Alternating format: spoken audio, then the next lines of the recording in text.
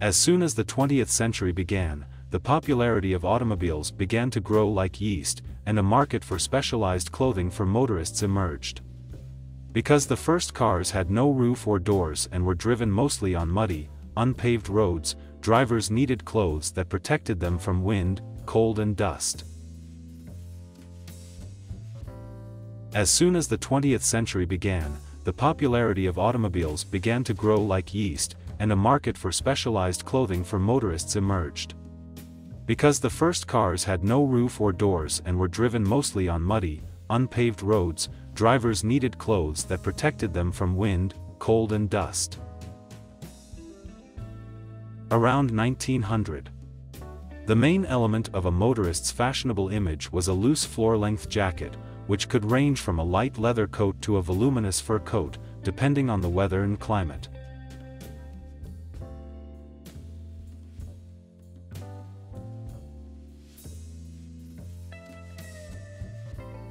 January 25, 1907. Amateur motorists dressed up for the Liverpool Motor Show.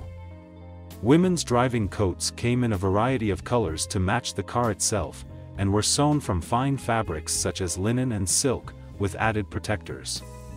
An essential accessory were special driving gloves.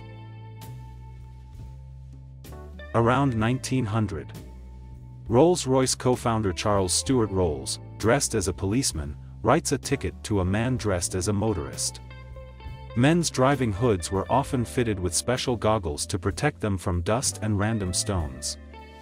Women's hats had removable dust shields. Around 1910. As a symbol of influence and style, automobile clothing was often worn and just for fun when not driving. Looking like you just drove an automobile became fashionable.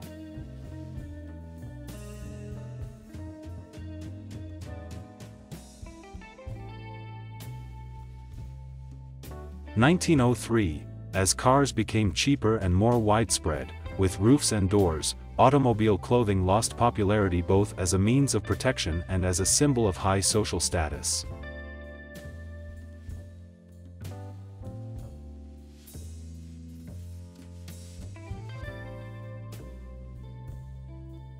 Around 1905,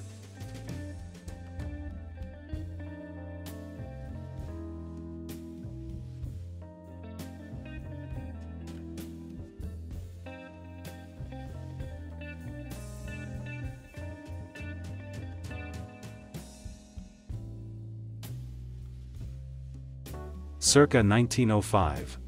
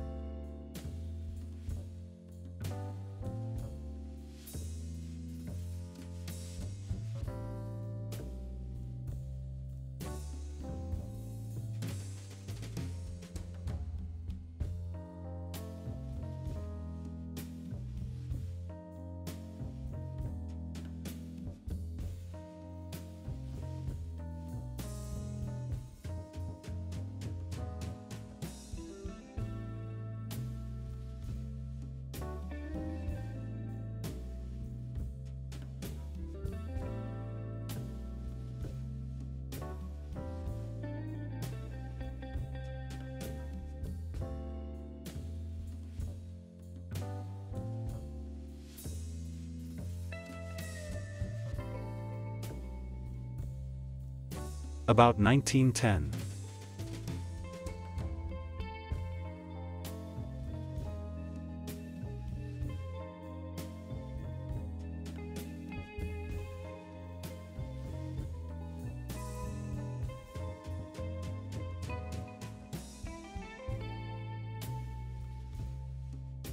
Thanks for watching.